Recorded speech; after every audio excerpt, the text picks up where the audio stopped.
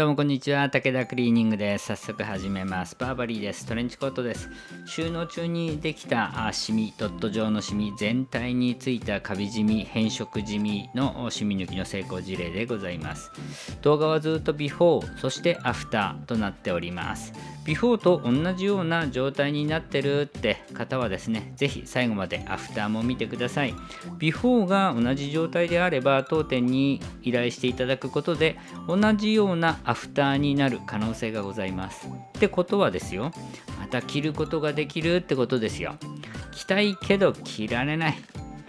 そんなお洋服ございませんか？自分でできる染み抜きじゃなくてプロの染み抜きを検索してくださって当店の動画を見てくださってるのではないでしょうか。一生懸命染み抜きさせていただきますんでね。是非拝見させてください。納期はどんなご依頼の内容であっても一番長くかかっても1週間なんですよ。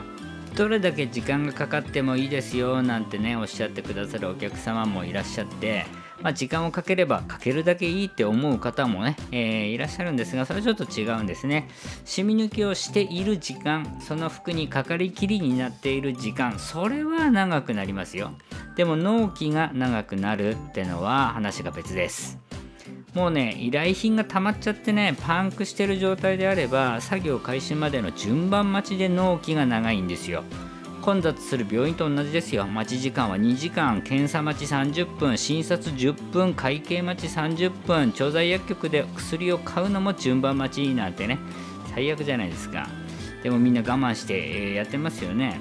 染み抜きもそんな感じになってしまったらそりゃあ納期は長くなりますよ。できないんですから。放置ですよ。順番待ちです。以前の当店もそうなってしまっちゃったんですね。それって当店の場合ね何一ついいことがないって思ったんですよ。お預かりからお渡しまで短ければ短いほどトラブルは減ります。いろんなことをちゃんと覚えていられる時間って結構短いですよ。確かなことも不確かになっちゃいますよ。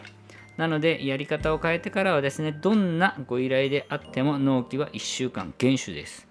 別の言い方をすればそれ以上納期がかかるような仕事は受けておりません。保管もやっておりません。保管ね魅力的に感じるお客様いると思うんですが自分の服は自分で管理した方がいいってのが僕の持論です。とはいえ収納場所がないって方もいるかと思いますよ。でもそれクリーニング店に預けっぱなしは良くないっすよ。クリーニング店の保管サービスは仕事の量を平準化できるメリットがあります。忙しい日と忙しくない日ってありますね。でもクリーニング屋は服さえ預かっていればいいんです。忙しい日に無理してやんなくてよくなるし、忙しくない日にそれをやることで暇になることもありません。お客様もクリーニング店に預けていれば安心って思うわけですが、まあ、言い方ちょっと語弊があるかもしれないですけど洗わずに放置されてるわけですよ。洗ってる服でさえ放置される時間が長いと今日のコートみたいに最悪なことになってしまうわけですね。あまり着ないだけど何年も見もしないそして収納しっぱなしってのは良くないですね。定期的にチェックしていただきたいです。やばいことになっていたらもしくはやばいことになりそうな兆しに気づいたらこれね兆しに気づいてほしいんですよ。定期的にチェックすることでその兆しに気づけるようになってほしいんですよね。で何かしらね違和感を感じるようになったら洗って収納してあるとはいうもののまだ着てないとはいうもののやっぱりそこで、えー、対策をしていただきたいなとまあ、とはいえ、それができなかったからね、えー、今日の事例みたいなことになってしまうわけなんですけど、まあ、なってしまったものはしょうがないですよ。